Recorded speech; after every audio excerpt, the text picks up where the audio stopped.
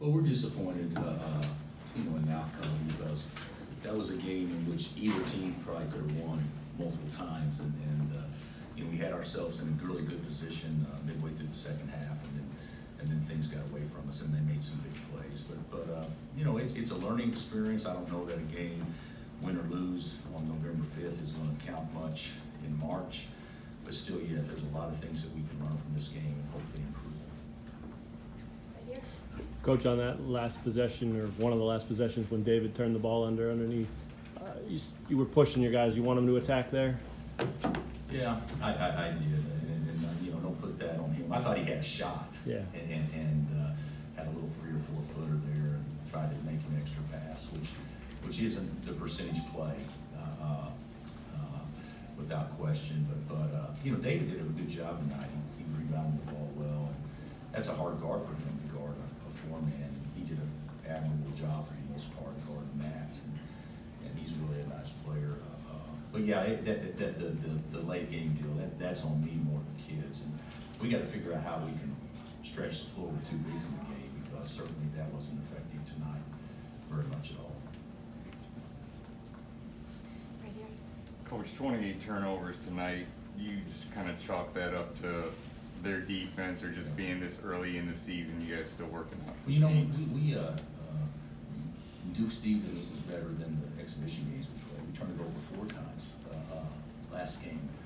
Uh, I think like eleven the game before that. So, yeah, we, we, I, I think we played uncharacteristic. I think we got out of character. I, I think we made easy plays difficult, uh, uh, many times. And, and certainly, uh, I think a lot of that's the nerves and, and, and, you know, the environment.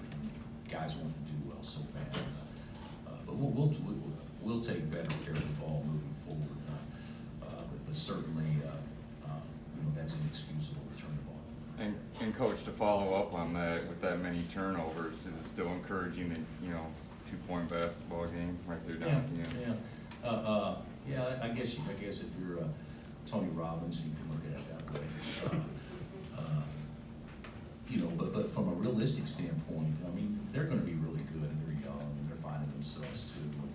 And, uh, uh, I, I do believe that we can learn a lot from this. You know, We, we've lost in this, this thing, uh, five times and been a one or two seed every time we lost it. So, so, I mean, it's very, I believe that's true. So, so we're, we're, we're capable of, of uh, rebounding from it. But it, it, there, I, I don't wanna ever say there's, there's good losses because it remains to be seen if something good comes from this. But I, I hope our, I hope we have the mindset that something can come from it. here. And I'll get you too. Uh, for players and Bill, did you guys feel like the floor kind of shrunk as the game moved along with how they were, were guarding and, and uh, just kind of how do you combat that? Well, I'll speak to it.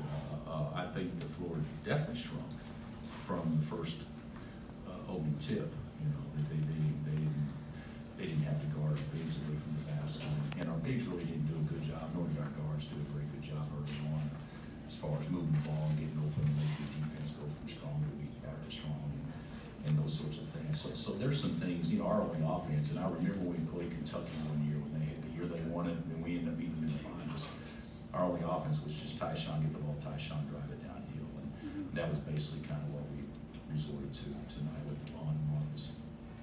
Right in the middle and then you.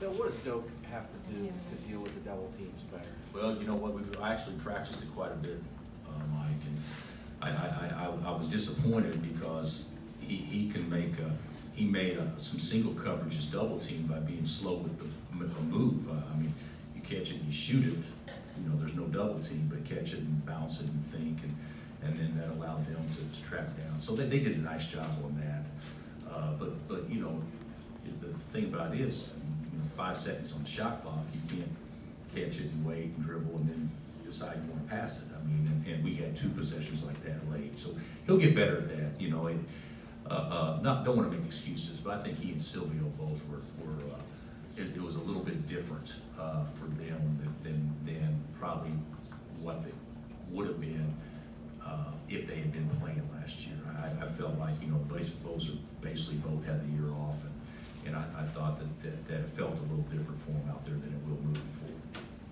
Just for the players, what are your emotions after losing a close game like this to a team like Duke to open the season?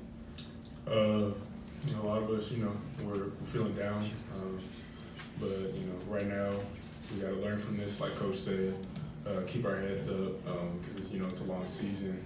Uh, a lot of things happen, so. Yeah, it's a learning experience. Um, you know, credit to them. Um, you know, they came out and um, you know stuck to the game plan, but uh, this is a learning experience, and uh, only gonna try to get better. Go. Scott.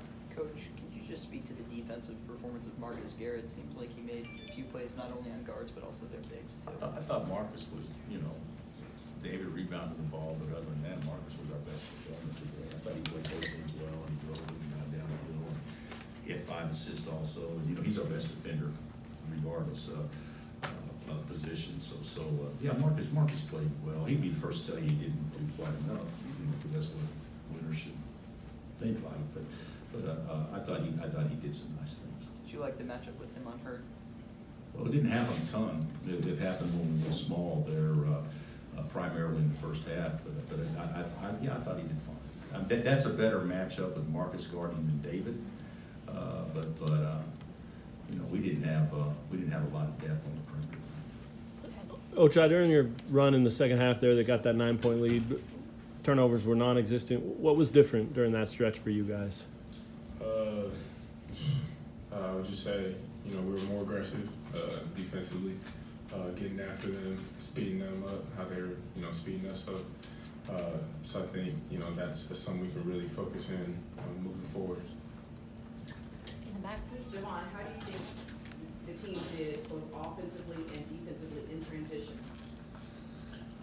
Um, I mean, there was some, you know, some good moments in transition. Um, you know, also there was some, you know, moments where we didn't uh, perform well in that stage of the game. Um, but so, just gonna look at film and, and um, really just see what, what we can improve on, and um, that, that's that's what we're focused on. I, I actually thought, you didn't ask me, can you do? I actually thought there was multiple times in transition, we didn't pitch ahead. And if you pitch ahead, you go make a layup or put pressure on people.